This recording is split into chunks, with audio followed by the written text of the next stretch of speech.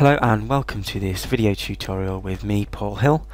In this video I'm going to be using Adobe Illustrator along with Adobe Photoshop to show you how you can easily trace images and create your own digital drawings. Some of the tools within each of these software products can be quite complex so I've found that this is a great way to start familiarising yourself with them um, especially something like the pen tool which can be quite frustrating at first but the more you use it you will begin to appreciate it. So in this video I'm going to be using a Wacom Intuos 4 medium graphics tablet.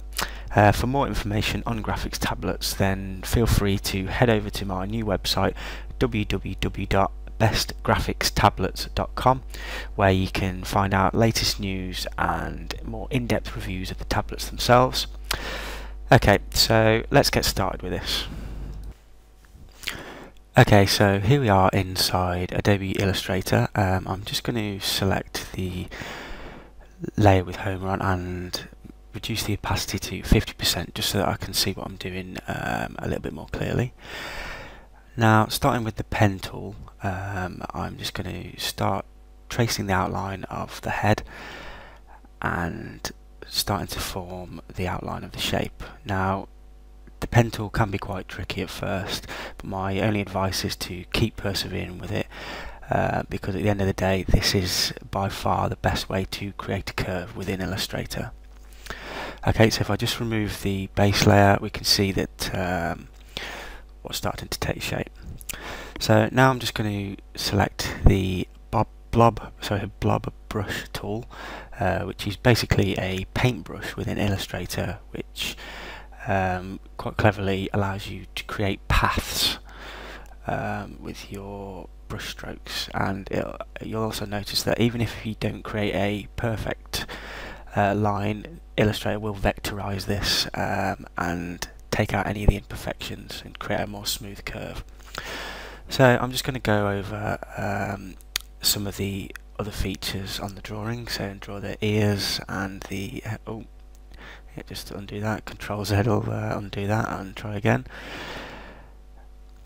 Uh, for the eye I'm going to use the ellipse tool and if you using the shift and alt key you can drag a circle out from the center which is quite an, um, an effective way of doing so uh, just increase the stroke um, to be consistent with the rest of the drawing and then create two further circles which will form the eyes so with that done, uh, let's just take a quick look.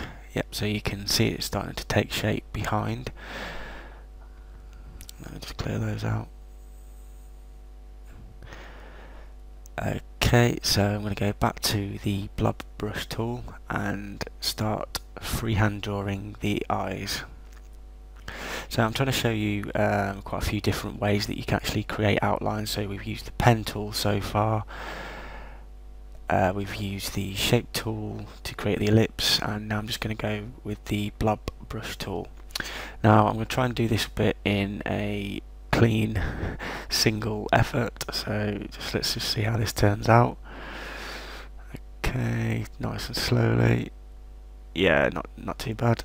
Okay, and then as again you'll see it smooths it out and vectorizes it. And then just the top. Okay. So just carrying on with the rest of the outline. Ooh. Just undo that one. And the rest of the colour.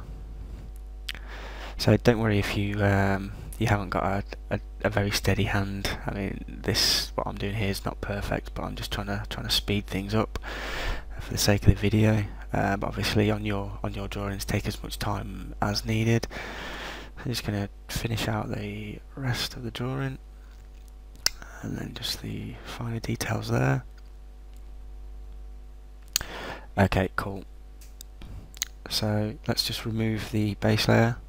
Okay, so I've what I've been doing just I've been drawing on top on the first layer so you can basically just drag that down to layer 2 and there you go all sorted so what I'm going to do now, if we select all on layer 2 and copy that, we're just going to fire over to Photoshop and paste that into there as a smart object and there you can see the outline of Homer um, in a easily editable format within Photoshop. So this is on a, a separate layer so basically the good thing with layers that we're going to do our uh, filling in or colouring in if you like on a separate layer.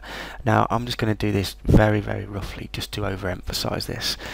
Um, obviously you'll take a lot more care on your drawings but you're not actually going to affect the outline you're only colouring in uh, behind it if you like so feel free to um, just roughly get your colouring in place and then what we're going to do is we're going to uh, zoom in and start to brush away the colouring outside the lines.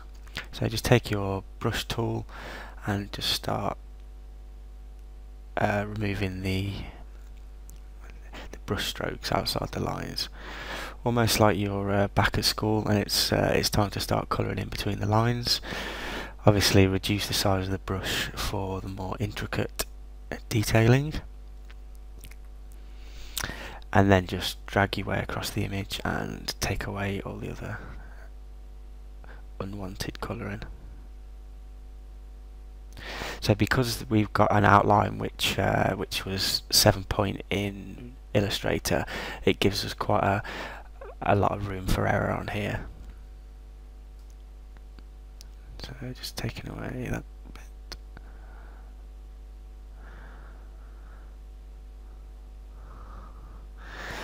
and then hopefully you can start to see uh, this taking shape now.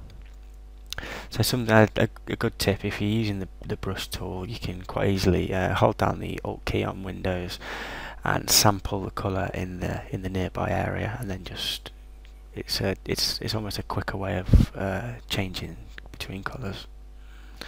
So just take away a little bit there and that last bit. Oh, change that one.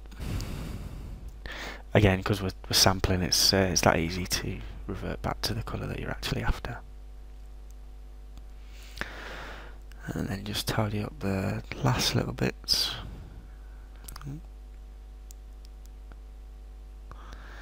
And then almost done.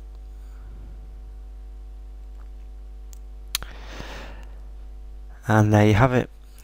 Homer Simpson created in Illustrator and Photoshop. Sorted.